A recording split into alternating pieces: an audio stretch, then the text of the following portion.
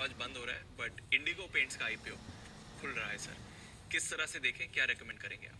लगाइए पैसा। जमकर लगाएँ। दम लगाकर हाँ हाँ बिल्कुल। इंडिगो पेंट्स पैसा लगाने की राय है। क्यों है? पहले बता दूँ कुछ अच्छी चीज़ें इस आईपीओ के बारे में बता दूँ। पहली चीज़ तो ये कि रेवेन्यू और प्रॉफिट की ग्रोथ।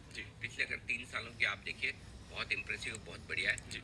कई बार हम ये कह कहते थे कि भाई दो तीन साल पहले कंपनी आईपीओ लाने का प्लान करती है तो उस समय आपकी ग्रोथ ज़्यादा अच्छी हम्म। थी वो मैंने एग्ज़ाम्पल भी दिया था ना। शादी के दिन दूल्हा दुल्हन दोनों बड़े तैयार होकर सज कर होते हैं। तो, तो वही ये एक तरह से शादी वाला ही दिन है। कि कंपनी आईपीओ लॉन्च करी तो बैलेंस शीट पूरी सजी धजी रहती है। इसलिए हम जब थोड़ा लंबा देखते हैं ना तो लंबे भी आप आठ दस सालों का देखेंगे तो इम्प्रेसिव ग्रोथ है बढ़िया है। Okay. हाँ इसमें एक चीज़ ज़रूर है कि बहुत लो बेस से इन्होंने शुरू किया इसलिए आपको परसेंटेज टर्म्स में ग्रोथ बढ़िया दिख रहा है लेकिन ग्रोथ दिखनी चाहिए। जी। वो इम्पोर्टेंट है और वो ग्रोथ दिख रही तो रेवेन्यू और प्रॉफिट की ग्रोथ बहुत ही इंप्रेसिव रही है। जी सर दूसरी बात है कि आईपीओ का पैसा है ना एक्सपेंशन प्लान में जा रहा है। हम्म, तो ये एक्सपेंशन प्लान में जो थोड़ा सा ऑफ़र फॉर सेल है अ, इनके पी इन्वेस्टर्स की गोया की तरफ़ से बट बाकी एक्सपेंशन प्लान में जा रहा है। हम्म, और मेरे लिए इस आईपीओ में स्ट्रांगली पैसा लगाने की जो राय है उसके पीछे सबसे बड़ा कारण सबसे बड़ा कारण ये है जो आईपीओ का पैसा आकर एक्सपेंशन में जा रहा है। तो अब आप ये कहेंगे बहुत सारे आईपीओ आते हैं सर उसका पैसा एक्सपेंशन में जाता है तो इसमें ऐसी नई बात क्या है? नई बात है। क्यों? अभी पीपी जिसको हम अ, अ, एक तरह से आप ये समझ लीजिए कि एसेट्स इस कंपनी की एसेट्स जो है अ, वो करीबन करीबन 142 करोड़ के आसपास की है। इस एक्सपेंशन प्लान जो 150 करोड़ का है हम्म। उसके बाद एसेट्स लगभग दुगुनी हो जाएगी दो सौ बारानवे करोड़। जी।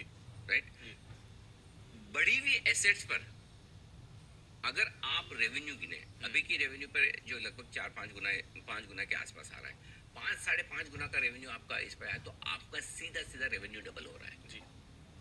और इसीलिए तीसरा पॉइंट जो मैंने लिखा कि विस्तार के बाद इसके वैल्यूशन बहुत आकर्षक हो जाएँगे। अभी आप पिछले तीन क्वार्टर के वैल्यूशन देखेंगे तो आपको लगेगा अरे भाई ये वैल्यूशन के मामले में क्या एशियन पेंट जितना दे देंगे क्या? बर्जर जितना देंगे? गंजाई नेरोलक जितना देंगे? लेकिन आपको उस हिसाब से नहीं देखना है। आपको देखना है एक्सपांशन प्लान के बाद क्या वैल्यूशन है। एक्सपांशन प्लान के बाद मुझे लगता है ये सत्ताईस अट्ठाईस रुपए के आसपास की ईपीएस करना चाहिए और उस लिहाज से अपने पेयर्स के मुकाबले में करीबन करीबन पैंतीस चालीस परसेंट सस्ता है। अभी पैंतीस चालीस परसेंट। तो मेरे हिसाब से लिस्टिंग पर पैंतीस चालीस परसेंट की गुंजाइश गुंजाइश हाँ। तो सर ये जो बाज़ार का एक कंसर्न है कि थोड़ी एक्सपेंसिव वैल्यू हाँ, एक्चुअली वैसा नहीं प्रॉब्लम क्या है दीप? हाँ। इसमें प्रॉब्लम है ना अ, मैं चाहता हूँ इसमें सेबी भी ध्यान दे। क्या है? अ, एक जमाना था जब है ना आईपीओ आते थे कंपनी के तो आईपीओ में होता ये था कि तब कंपनियाँ प्रोजेक्शन देती थी। हम्म। अगले तीन साल पाँच साल का कि हम ये करेंगे वो करेंगे। और पता चला वो देखकर इन्वेस्टर्स पैसा लगा रहे हैं होता कुछ नहीं था और बाद में कंपनियाँ गायब डूब गई है ये नहीं। मतलब ये बोले ना हमने ये सोचा था ये हो गया। जी। आपके पास बहाने तो बहुत है कि कोविड आ गया था कि कभी कभी ये हो गया था कभी इकोनॉमिक स्लो डाउन आ गया। तो उसमें इन्वेस्टर लालच में फंस जाते थे कि इतनी बढ़िया परफॉर्मेंस तो सेबी ने वो बंद कर दिया विच वॉज़ गुड लेकिन अभी इशू क्या है? अभी होता है कि अभी कंपनियाँ ना अपने प्रोजेक्शन नहीं दे सकती। लेकिन प्रोजेक्शन किसको नहीं दे सकती? आरएचपी में नहीं आर में नहीं आएगा।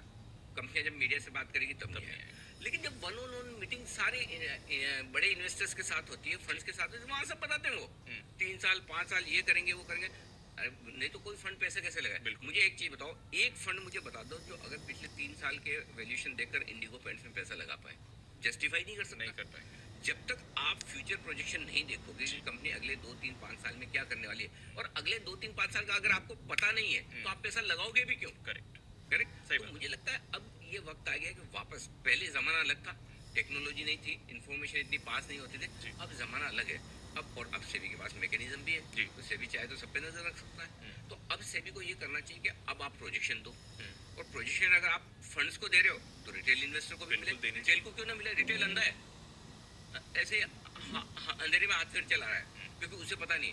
हम बताते हैं तो उन्हें लगता है कि हाँ ठीक होगा या यही चीज़ जो फंड्स को मिल रही है वो रिटेल इन्वेस्टर्स को मिलनी चाहिए। इन्फॉर्मेशन और ताकि कंपनियाँ उसका मिसयूज न करें कुछ भी अनाप शनाप आगे के प्रोजेक्शन न दे उसके लिए मॉनिटरिंग सिस्टम बना दो। जी।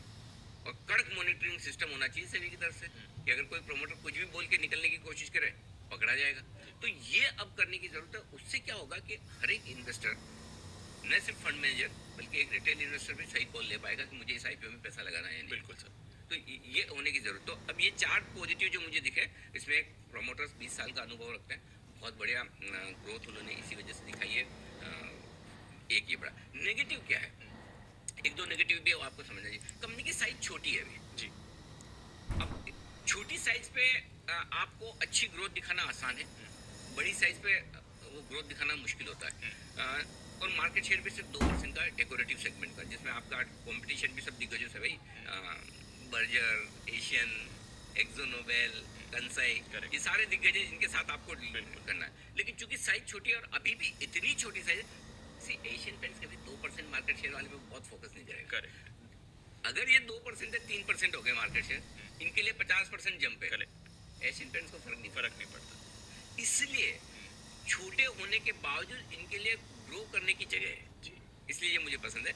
और दूसरा एक हिस्टोरिकल वैल्यूएशन देखेंगे आप पुराने डेटा तो आप पैसा लगा ही नहीं पाएँगे। आपको लगा अरे भाई इतना महँगा?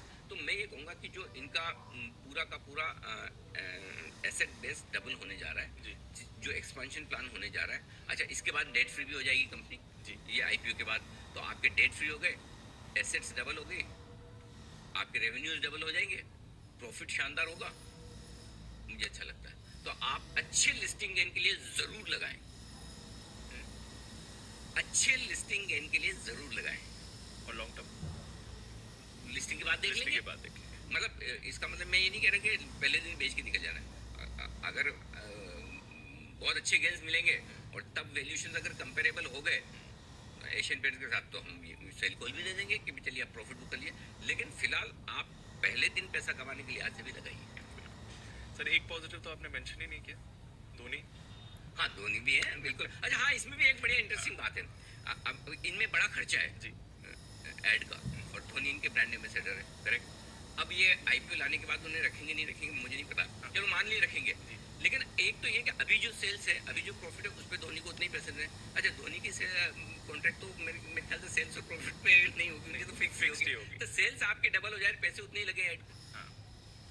तो वो भी फ़ायदा है आपके खर्चे बच रहे हैं। करेक्ट तो वो मार्जिन आपके सुधरेंगे मार्जिन बेहतर हो सकते हैं। तो मार्जिन इंप्रूवमेंट का स्कोप है रेवेन्यू और प्रॉफिट इंप्रूव होने का स्कोप है।